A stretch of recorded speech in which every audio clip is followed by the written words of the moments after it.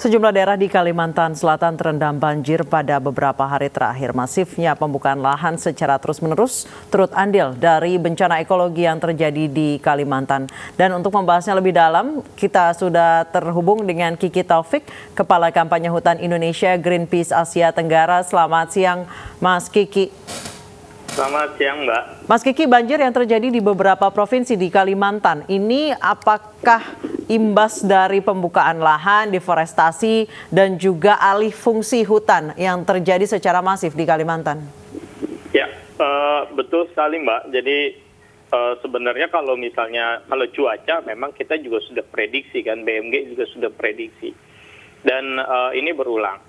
Nah, tapi kuncinya sebenarnya adalah alih fungsi lahan yang sangat masif di Kalimantan, di mana uh, hutan terutama di Kalimantan Selatan itu yang tersisa hanya sekitar sekitar uh, 16,7 16,4 persen yang tersisa. Jadi dari total 3,7 juta hektar uh, lahan di luas wilayah di Kalimantan Selatan, uh, hanya ada 606 ribu uh, wilayah yang berhutan.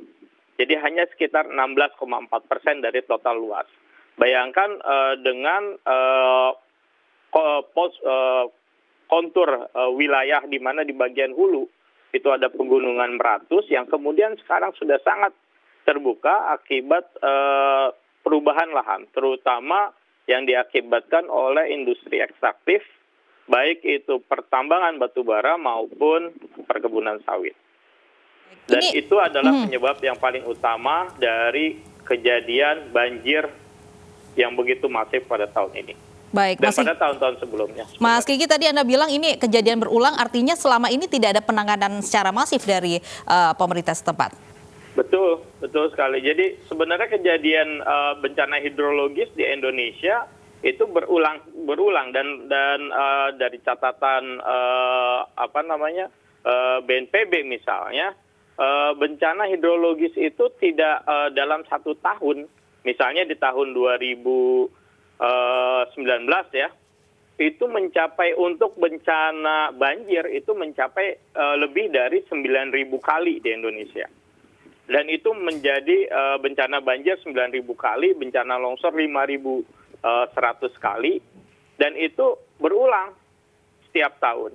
Artinya pemerintah punya sudah memiliki data uh, mana wilayah-wilayah potensi banjir, tapi abai, abai dalam hal untuk pencegahan banjir. Memang ada program misalnya pencegahan kebakaran hutan sangat masif, tapi pencegahan terhadap uh, bencana banjir ini sangat sangat uh, sangat lemah gitu, terutama misalnya uh, dalam perencanaan tata ruang. Kita tahu seharusnya dalam undang-undang lingkungan hidup sebelumnya setelah sekarang di, diubah oleh omnibus law, dulu ada ketentuan bagaimana satu provinsi harus menyisakan atau mempertahankan 30 persen luasan hutan dalam satu wilayah. Yang sekarang kemudian dihapuskan dalam omnibus law. Nah bayangkan bagaimana bencana ini akan terjadi di tahun-tahun berikutnya, di mana uh, wilayah hutan semakin berkurang dan semakin berkurang. Nah, ini uh, menunjukkan bahwa sebenarnya pemerintah tidak secara serius memiliki program untuk menanggulangi bencana-bencana alam yang ada di Indonesia. Jadi bencana hidrologis ini mulai dari banjir, longsor, kemudian nanti di musim uh, kemarau kita akan menghadapi bencana kebakaran gitu. Baik. Dan ini semua sebenarnya bisa di, bisa ditanggulangi dengan perencanaan tata ruang yang baik. Baik, Mas Kiki ada satu yang uh, selalu uh, kurang uh, diungkap adalah setelah misalnya terjadi kebakaran lahan uh, pohon terbakar semua. Kemudian si lahan uh, atau hutan yang terbakar itu yang sudah terlanjur terbuka dikembalikan lagi sebagaimana fungsinya yaitu sebagai hutan atau justru sekalian saja di, menjadi lahan terbuka atau jadi perkebunan sawit atau jadi peternakan sih selama ini? Ya selama ini terjadi terutama di Kalimantan memang wilayah-wilayah bekas terbakar itu berubah fungsi menjadi perkebunan sawit.